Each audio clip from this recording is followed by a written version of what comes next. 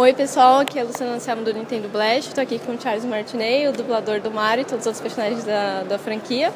É, a gente vai conversar aqui um pouquinho com ele. Hi Charles, thank you very much for having us. And uh, I wanted to know how how did you first know that you wanted to be an actor?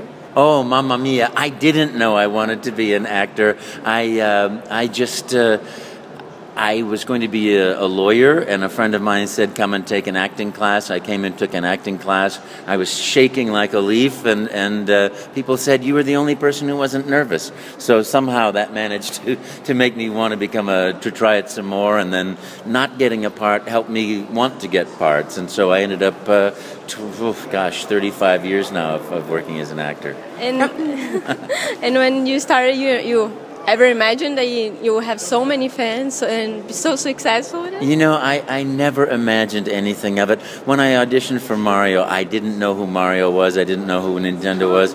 And now this spectacular game, 3D, uh, 3D World Mario, 3D World, fantastic, incredible. It's such a joy to be a part of a company who loves making video games, whose passion is making great games. And Super Mario 3D World and, uh, you know, and the Mario Party Island Tour such fun games. And I'm lucky because it's many years to make a game. But it's for me, I just go in the last few weeks or, you know, do a couple of hours here and a couple of hours there. And, you know, I get to get recognized for that is, is quite an honor. And when you're working, when you're working on a game, do you have any chance to improvise or make oh, suggestions? Oh, sure, sure. We have a script, and then we watch animations, and then after we do the script, we also improvise and we play around, and great ideas bouncing back and forth, and, and it's just it's so much fun. And of course, coming to Brazil and meeting Brazil fans of Mario is it's just the best. It's such a wonderful experience. And you you play so many characters in Mario franchise. Do you have a favorite besides Mario?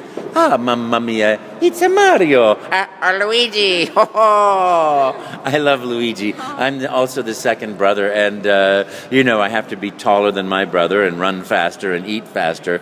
Uh, and it's the year of Luigi, so I'm very happy. Yahoo!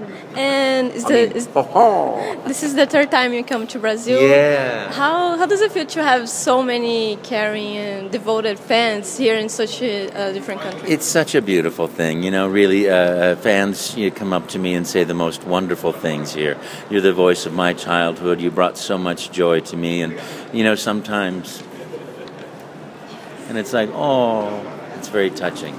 I wanna, I wanna really thank you for giving us this interview. It's oh, a really, sure. it's a real pleasure to meet you because you've been part of my childhood. Oh, and I hope to see you again someday. thank you very much, and thank you to all my friends at Nintendo Blast, numero uno, wahoo! Oh, numero un. ah, it's right, Mario. Bom, gente, esse foi o Charles Martinet, muito carismático. Espero que vocês continuem acompanhando o Nintendo Blast. Muito obrigada. Obrigado.